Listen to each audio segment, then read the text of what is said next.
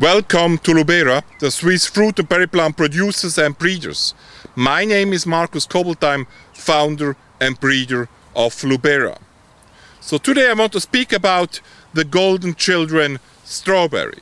You know the red forest strawberries, the small forest strawberries with a good aroma, and here you have now a golden forest strawberry. You see the bushes, which are very healthy, very big, very fruitful, always blooming, blooming the whole summer on.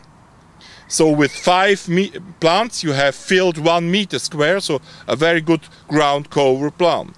And here you have the golden children strawberries.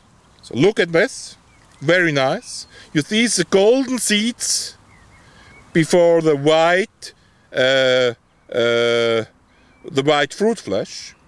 The aroma is typically for for uh, forest strawberries. So you have the typical hint of uh, forest strawberries in it, and you have also a hint of vanilla if you are eating them. So very nice. They are also rather big, uh, so very good size, so that it makes sense to pick them.